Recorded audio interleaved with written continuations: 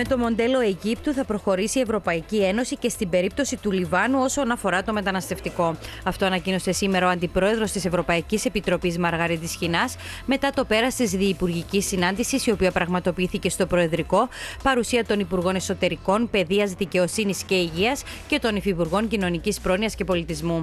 Μετά την πολύ πετυχημένη πρωτοβουλία με την Αίγυπτο, που ακολούθησε την αντίστοιχη με την Τινησία, νομίζω ότι το επόμενο ραντεβού, η επόμενη πρόκληση είναι μια αντίστοιχη προσέγγιση Ευρωπαϊκής Ένωσης προς το Λίβανο. Περισσότερη στήριξη, έμπρακτη στήριξη στο Λίβανο θα έχει μόνο θετικά αποτελέσματα για την Κύπρο αλλά και για την υπόλοιπη Ευρωπαϊκή Ένωση σε θέματα παράδειγμα μεταναστών μέσω των θαλάσσιων οδών.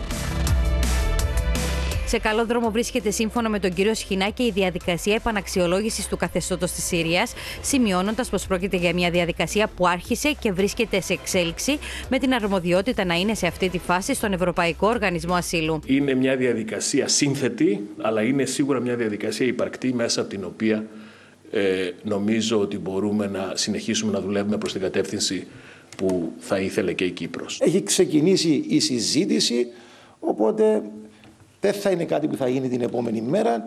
Χρειάζεται χρόνος, το παλεύουμε και ευελπιστούμε σε ένα θετικό αποτέλεσμα. Συνεχίζοντας και πλέκοντας μάλιστα το εγκόμιο στην Κυπριακή κυβέρνηση, ο αντιπρόεδρος της Ευρωπαϊκής Επιτροπής δήλωσε πως η Κύπρος αναδεικνύεται σε έναν ευρωπαϊκό πρωταθλητή στις επιστροφές μεταναστών. Πολύ σημαντικές επιτυχίες.